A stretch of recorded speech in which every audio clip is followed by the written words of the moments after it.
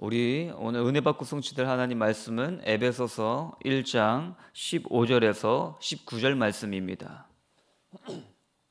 에베소서 1장 15절에서 19절 말씀입니다. 이로 말미암아 주 예수 안에서 너희 믿음과 모든 성도를 향한 사랑을 나도 듣고 내가 기도할 때에 기억하며 너희로 말미암아 감사하기를 그치지 아니하고 우리 주 예수 그리스도의 하나님 영광의 아버지께서 지혜와 계시의 영을 너희에게 주사 하나님을 알게 하시고 너희 마음의 눈을 밝히사 그의 부르심의 소망이 무엇이며 성도 안에서 그 기업의 영광의 풍성함이 무엇이며 그 힘의 위력으로 역사하심을 따라 믿는 우리에게 베푸신 능력의 지극히 크심이 어떠한 것을 너희로 알게 하시기를 구하노라 아멘. 오늘 능력의 중보 기도라는 제목으로 함께 말씀을 나누도록 하겠습니다. 이번 한 주간 우리에게 성취된 하나님의 말씀 주셨죠. 완벽히 보장된 인생이라는 말씀을 주셨습니다. 그러면서 서론에 이렇게 말씀하셨습니다. 우리는 영적으로 성장해야 된다. 그 영적인 성장이 시선이 변하는 것이다. 우리의 시각이 달라지는 것이다. 한마디로 모든 상황과 모든 것을요, 복음으로 해석하는 거죠. 우리 눈으로 들어오는 모든 것들, 귀로 들려지는 모든 것들, 우리 피부로 느껴지는 모든 것들을요, 하나님의 말씀으로 해석하는 겁니다. 그리고 우리는 사람과 싸우는 것이 아니라 영적인 싸움을 싸워야 한다 말씀을 주셨습니다. 저는 이 영적인 싸움의 최고가 중보기도라고 생각합니다. 오늘 말씀 본문은요. 사도 바울이 감옥에서 에베소 교회에게 음, 보내는 편지 내용입니다. 그리고 이 전반부에서 예수 그리스도의 복음에 대해서 아주 확실하게 선포하고 있습니다. 그리고 15절부터 어떻게 하냐? 중보 기도를 하고 있습니다. 이 바울의 가슴을 우리가 느낄 수 있는데요. 우리가 오늘 말씀을 통해서요. 하나님을 아버지라 부르면서 중보 기도 하는 그런 성도님들 되시길 바라겠습니다. 우리 첫 번째 중보 기도자입니다. 15, 16절 보겠습니다. 이로 말미암아 주 예수 안에서 너희 믿음과 모든 성도를 향한 사랑을 나도 듣고 내가 기도할 때에 기억하며 너희로 말미암아 감사하기를 그치지 아니하고 지금 15절에 이로 말미암아 이런 단어는요. 앞에 3절부터 14절까지를 말하고 있습니다. 그 내용이 무엇이냐? 하나님의 사랑에 대해서 선포하고 있고요. 그리고 부활하신 예수 그리스도의 보혈의 능력을 선포하고 있습니다. 또 그 보혈의 능력이 있는 사람에게 성령이 인치셔서 그 사람을 보호하고 인도하시는 그 하늘의 신령한 복을 우리가 받았다. 바울은 선포하고 있습니다. 하나님께서 우리를 창세전에 영세전에 하나님 자녀로 선택하셨다. 이거는요 최고의 축복이라고 지금 사도 바울이 선포하고 있는 것입니다.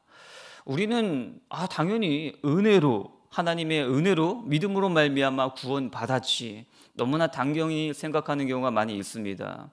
우리 쉽게 예를 들어서요. 우리 자녀들이 명문대에 합격했다. 엄청난 축복이죠. 근데 우리가 구원받았다. 그렇게 실감이 안 날 수도 있습니다. 또 우리 자녀들이 명문대에 나와서 대기업에 취업했다. 축복이죠. 근데 왜 축복인 줄 아십니까?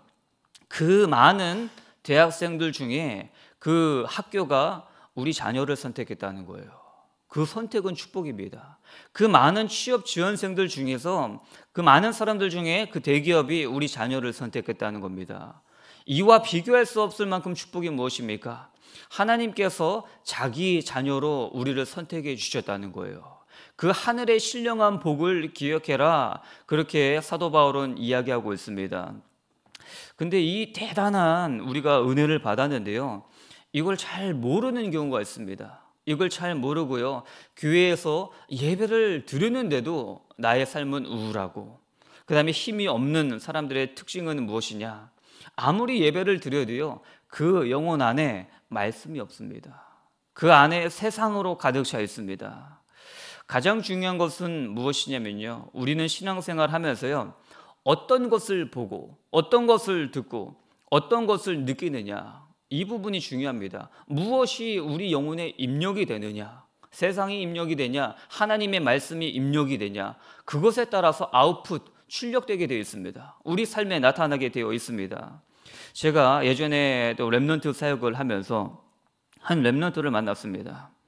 그 Remnant는요, 제가 개인 양육을 해야 할 정도로 좀 영적으로 문제가 드러난 친구였어요. 금요 예배, 주일 예배, 그 다음에 대예배, 부서 예배, 모든 예배 다 따라다녀요. 근데 우울하고 악몽에 시달리고 심지어 환청, 환영이 보이는 어, 그런 상태였습니다. 다락방 개인 양근육을 해보니까 딱 답이 나오는 거예요. 예배는 다 따라다니는데 왜 이렇게 시달리고 있을까? 보니까요. 우리 랩런트들이 보는 웹툰 있지 않습니까? 말씀이 없고 그 영혼 속에 웹툰이 가득 차 있습니다. 빈 시간만 나면요. 예배는 드려도 나머지 시간에 웹툰만 보고 있어요. 근데 그 웹툰이 어떤 내용이냐? 특별히 귀신 나오는 걸 좋아합니다. 뭔가 영적인 교감이 있고 귀신이 친구처럼 되고 그런 많은 웹툰들이 지금 인터넷에 깔려 있거든요. 그것을 보이니까는 실제로 귀신이 보이기도 하고 악몽에 시달리고 그렇게 되어 있습니다.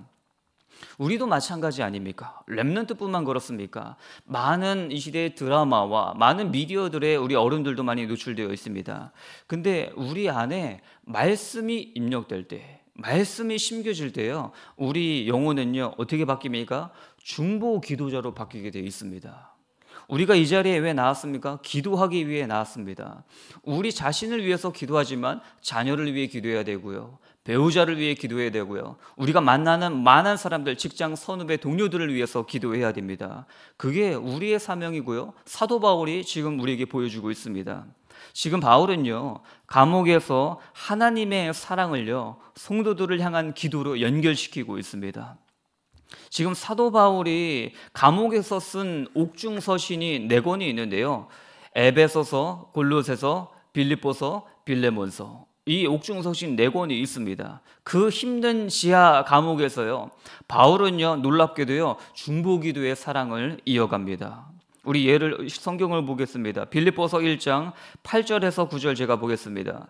내가 예수 그리스도의 심장으로 너희 무리를 얼마나 사모하는지 하나님이 내 증인이시니라. 내가 기도하노라. 너희 사랑을 지식과 모든 총명으로 점점 더 풍성하게 하사. 또 하나의 옥중서신 빌레몬서 1장 4절 보겠습니다.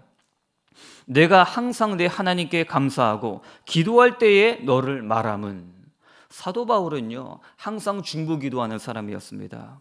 우리가 교회 안의 특징이 무엇입니까? 이 교회 신앙생활은요, 나 혼자 예배 드리고, 나 혼자 언약 붙잡고 가는 그의 신앙생활 아닙니다. 교회는요, 반드시 공동체입니다. 그리고 이 교회가 커질수록 우리는 어디로 들어가야 합니까? 작은 공동체 속으로 들어가야 돼요. 포럼하는 자리로 들어가야 됩니다. 다락방 하는 자리로, 지교하는 자리로, 또 우리 전문교회 여러 가지 또 많은 공동체들이 있지 않습니까? 우리 랩런트들에게는 뭐 초등부, 중등부, 고등부, 대학부, 청년부 많은 부서 기관들이 있지 않습니까? 그 기관 속으로 들어가야 합니다. 왜 그럴까요? 교회는요, 누군가 나를 위해 기도해주는 영혼이 있어야 돼요. 중보 기도해주는 그런 기도의 배경이 필요합니다. 그래서요, 그 만남의 축복을 위해서 우리는요, 공동체 속으로 들어가야 합니다.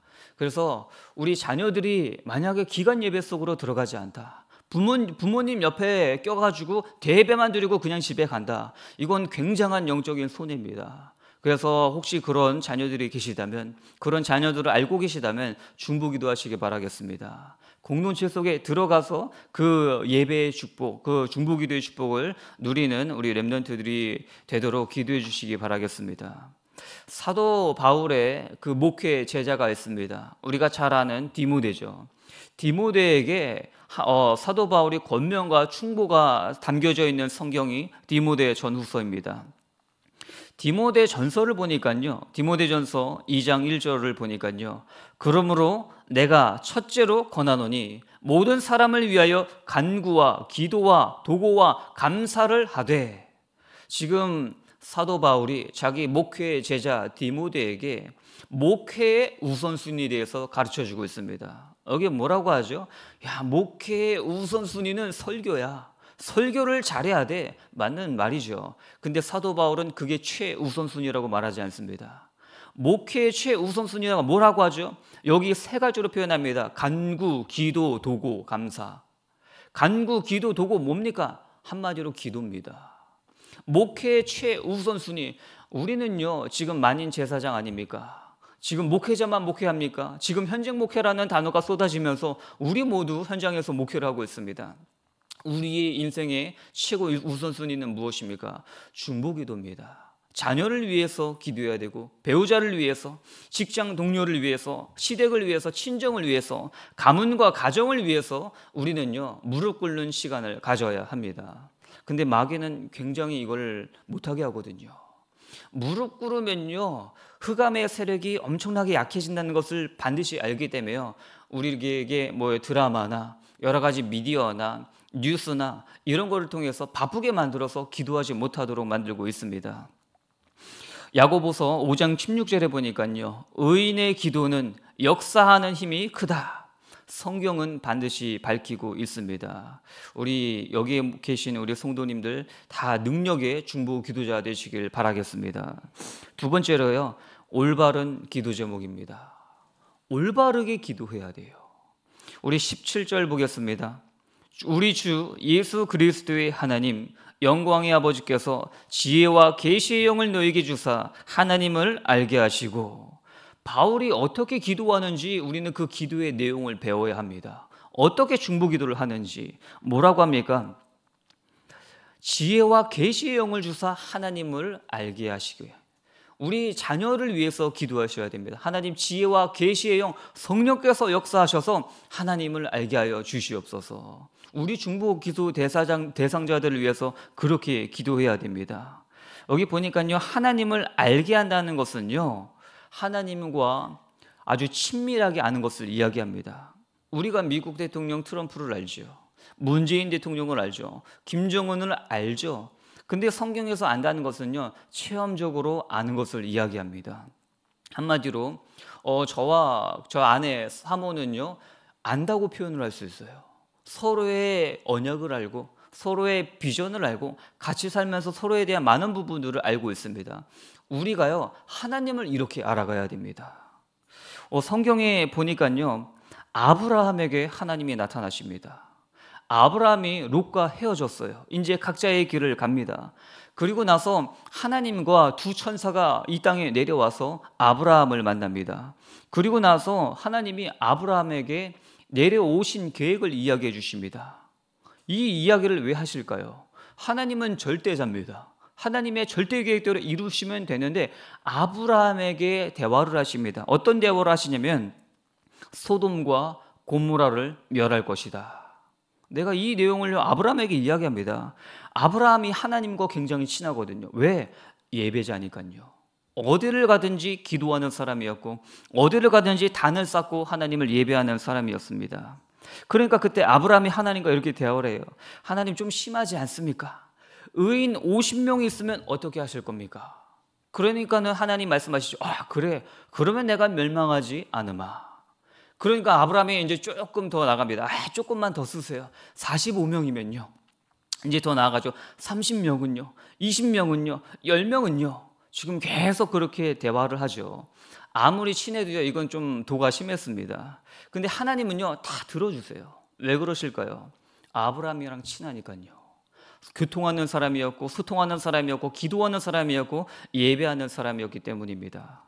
이렇게 우리가요 하나님을 올바르게 알게 하는 성령의 역사를요, 우리 자녀를 위해서, 그 다음에 중보기도 대상자들을 위해서 기도해야 합니다. 또 하나님과 친해지는 방법은요, 우리의 입술을 헌신해 드려야 돼요. 우리는 함부로 말할 때가 종종 있습니다. 함부로 사람을 판단하고 비판하고 불평, 거짓말, 불신앙 이 입술을요 바꿔야 돼요. 입술을 어떻게 바꿉니까? 하나님을 찬양하는 입술로요. 그 다음에 상대방을 위해 중보 기도하는 입술로 바꿔야 합니다. 복음을 전하고 살리는 입술로 바꿔야 합니다. 그렇게 우리 입술을 바꿀 때요, 우리는요, 더욱더 하나님과 친밀해질 수 있습니다. 그리고 사도 바울이 또 이야기합니다. 18, 19절 보겠습니다. 너희 마음의 눈을 밝히사 그의 부르심의 소망이 무엇이며 성도 안에서 그 기업의 영광의 풍성함이 무엇이며 그의 힘의 위력으로 역사하심을 따라 믿는 우리에게 베푸신 능력의 지극히 크심의 어떠한 것을 너희로 알게 하시기를 구하노라. 정리를 해볼까요? 부르심의 소망, 기업의 영광의 풍성함, 능력이 지극히 크심. 이거를 좀 우리 용어로 바꿔보면요. 천명, 소명, 사명으로 우리가 이해할 수 있습니다. 부르심의 소망, 소, 어, 소명이죠. 기업의 영광의 풍성함, 하나님이 주신 천명과 능력의 지극히 크심, 사명입니다. 우리는요, 상대방을 위해 기도해야 됩니다. 하나님, 저 영혼이 하나님이 주신 천명과 소명과 사명이 무엇인지 깨닫게 하여 주시옵소서. 우리 이렇게 기도해야 합니다. 그래서 우리는요, 평상시 중보 기도자가 되기 위해서는요, 우리 입술과 눈과 귀를요, 하나님께 헌신해 드려야 됩니다. 이거는요, 단순해요. 우리 눈과 귀를 헌신한다. 내가 뭘 보고, 뭘 듣는가. 이 부분을 절제하라는 거예요. 우리 영혼에 인풋이 있습니다. 우리 영혼에 입력되는 게 있습니다. 그게 아웃풋으로 나오게 되어 있어요. 출력으로 나오게 되어 있습니다. 우리는요, 그래서 자녀들을 위해, 중보기도 대상자들을 위해 이렇게 기도합니다. 하나님, 영의 눈이 열려서 하나님의 역사, 부흥의 역사를 보게 하여 주시옵소서.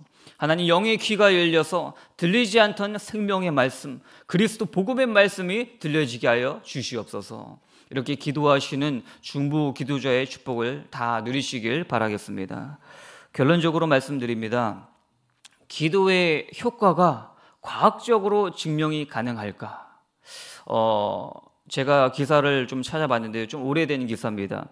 2001년 차병원에서 미국 컬럼비아 대학 어, 메디칼 센터 연구팀은요. 미국에서 발행되는 의학저널 생식지, 생식의학지에서요. 남을 위한 기도의 효과에 관한 결과를 발표했습니다. 그래서 미국이나 멀리 떨어진 곳에서요, 기독교 신자과 시험관 아기 임신을 위해서 차병원을 찾은 환자의 사진을 놓고 기도를 했습니다. 근데 놀라운 결과가 나왔습니다. 기도를 받지 않은 환자에 비해서요, 임신 성공률이 26%에서 50%로 두 배나 높아졌다는 것입니다. 제가 이 말씀을 왜 드립니까? 중보 기도는요, 역사하는 힘이 큽니다. 그래서요, 나 자신을 위해서도 기도해야 되지만 하나님께서 분명히 말씀하셨습니다. 너희는 먼저 그의 나라와 그의 의를 구하라. 그리하면 이 모든 것을 너에게 더하시리라.